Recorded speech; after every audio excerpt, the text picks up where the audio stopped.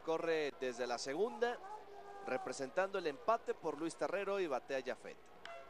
Y allá va el batazo al jardín derecho, profundo, la pelota para atrás, la pelota se va, se va, se va. Y está del otro lado. Cuadrangular de dos carreras de Jafet Amador. Y lo que era una desventaja en contra de los Diablos, ahora están ganando por una carrera a los Delfines de Ciudad del Carmen. Con ron de dos carreras de Jafet Amador. Y los Diablos le dan la vuelta al partido con el sello de la casa. El bombazo a la banda opuesta de cuatro esquinas de Jafet Amador. Y la pandilla roja está ganando el partido ahora, nueve carreras por ocho. Ahora John Lindsay a la caja de bateo.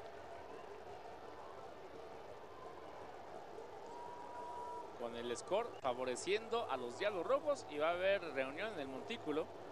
Sale Tejeda para platicar con su lanzador y posiblemente no solamente sea platicar, sino sea el cambio.